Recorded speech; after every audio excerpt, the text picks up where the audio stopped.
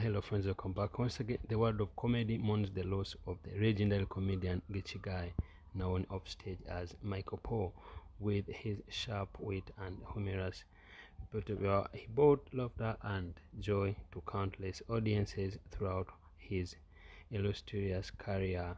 Tragically, he was discovered deceased at his Las Vegas residence on Thursday, September 7, 2023, at the age of only 59 so sad. This article delves into the life career and circumstances surrounding his passing shedding a light on the cause of this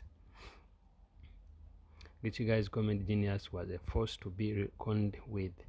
His stand-up comedy endeared him to audiences far and wide, earning him recognition on some of television's most prominent stages.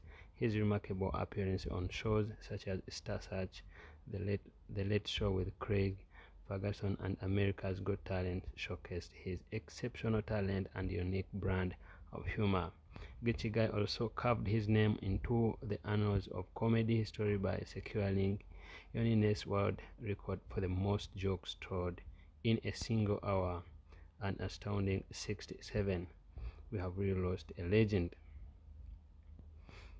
His mistress passing as shrouded in mystery, while the cause of death has been confirmed as natural. No indications of foul play or unusual circumstances have emerged as a fans and fellow comedians grapple with his roles the, co the comedy world will forever remember the impact and laughter that Geechy Guy brought. Geechy Guy's passing leaves a void in the world of comedy that may never be filled as fans and admirers cherish the memories of his uproarious performances.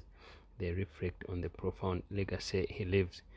Behind Guy's name will forever be synonymous with laughter and comedic excellence, ensuring that his spirit lives on through the countless smiles he brought to the faces of his audience guys don't forget to subscribe like the video and you can also leave a comment in the comment section